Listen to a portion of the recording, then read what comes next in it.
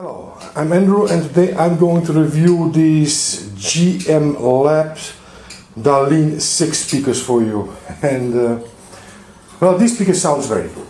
They sound very good and um, yeah, the only reason I decided not to keep them is the bass. I don't say they have no bass. They start with 30 hertz, so they have plenty bass. But I love more those speakers who start with 22, 24, 25 hertz.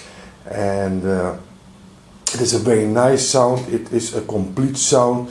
You don't miss anything in the mids, anything in the treble, or anything in the bass. If you like the normal neutral sound. Yes, if you if you are bass heavy lover like me, then these speakers won't satisfy your ears. But for the normal neutral listener, these speakers are just perfect. Well, I already reviewed three top receivers, very heavy receivers with these speakers.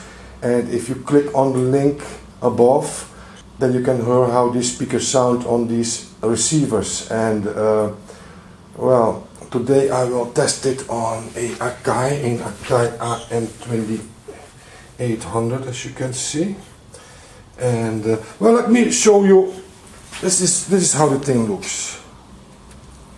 1 meter 15 centimeters height.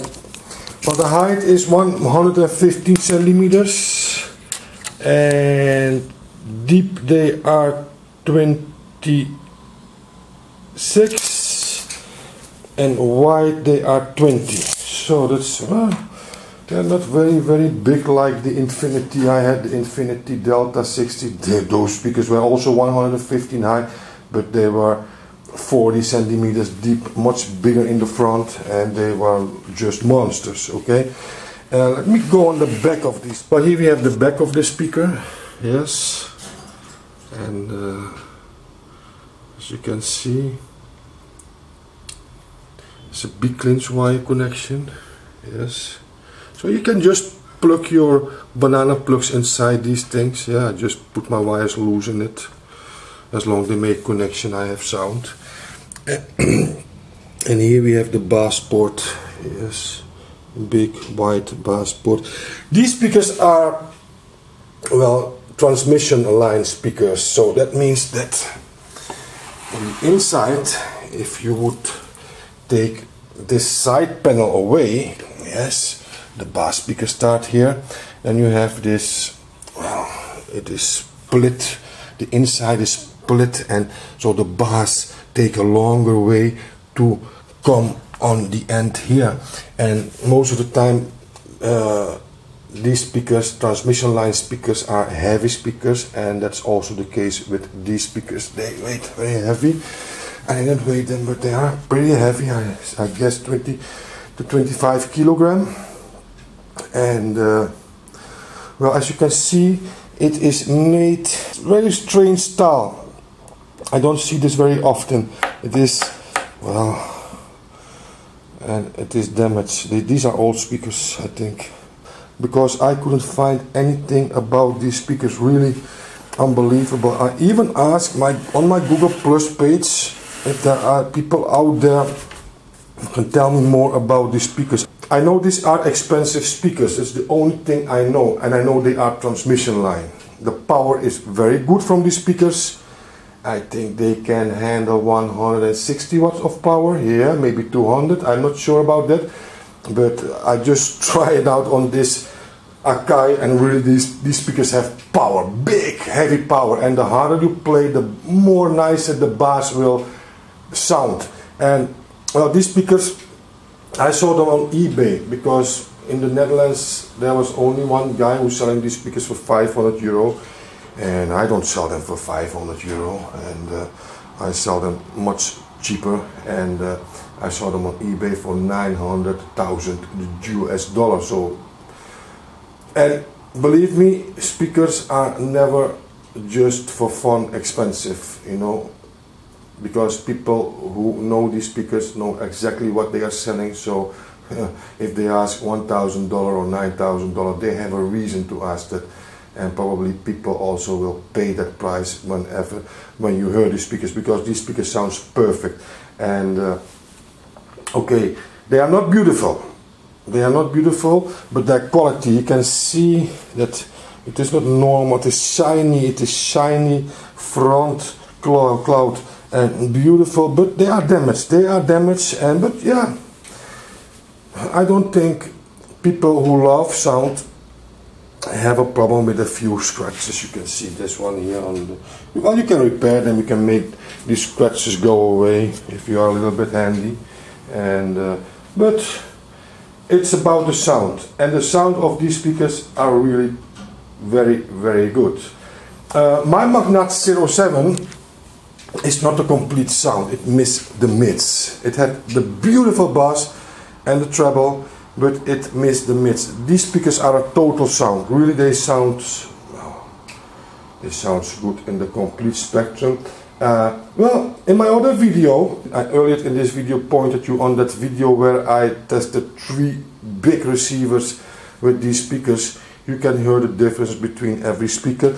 But for today, let me spin some, well, simply red again. I think that's what I have on my MP3 player. And everything is on neutral. Just bass treble balance. Everything is on neutral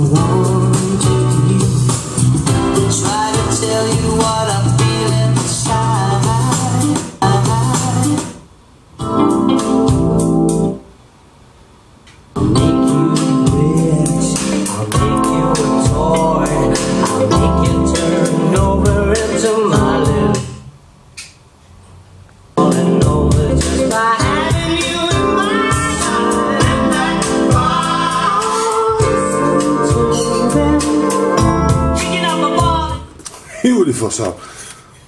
I drove 200 kilometers. I don't know how it is in miles, but it is a lot. I drove 200 kilometers for these speakers to get them because I was so curious. I never had GM Lab. These are my first GM Lab speakers, and uh, I was so surprised about this beautiful sound that uh, I tried to score these speakers again, these GM Lab speakers, but of course other models to well to review them for you guys. And well if I would not have the 07s yes I would be happy with these speakers. Believe me these are very good sounding speakers. They even sound better than the 07s only the 07 have more bass. So I can take distance from that bass. But they sound more well neutral more complete than the 07 and the bass is even these are very small uh, bass woofers, but believe me, the bass is very nice from these speakers. And uh, let me. You won't go, you won't go, you won't go to the bar. You won't go to the bar. And this is the Daline 6, and you also have the 6.1. That one have another tweeter, yes. And uh, I don't know what is the difference between these two tweeters. You have this, so this is the 6 with this tweeter, and the 6.1 have a different tweeter. But well, this, this tweeter sounds perfect to me. So I don't know what they changed these tweeters, but probably it would make a difference because otherwise they would not change that tweeter. And uh, these are very heavy heavy fronts and the, the cloud, the front, it's not cheap, it's very nice, expensive material. It is like silk and thick silk, very nice, shiny. And uh, so what more can I tell you about the speakers? Well, nothing really more. I just want to keep this uh, review short and uh, just watch my other video the video the VS VS Marantz 4300 VS Sansui G7000 and VS Yamaha CR2040 sound test. And uh, for that uh, review or that VS sound test I used these speakers also. So they sound pretty good. They sound pretty good and uh, they have a wide sound stage. So everywhere when you are in the room you will hear these speakers singing so well this was my review for now. The GM Lab Daline 6 and uh, well thanks for watching. Put those thumbs up. Don't forget to subscribe. And for now I say bye bye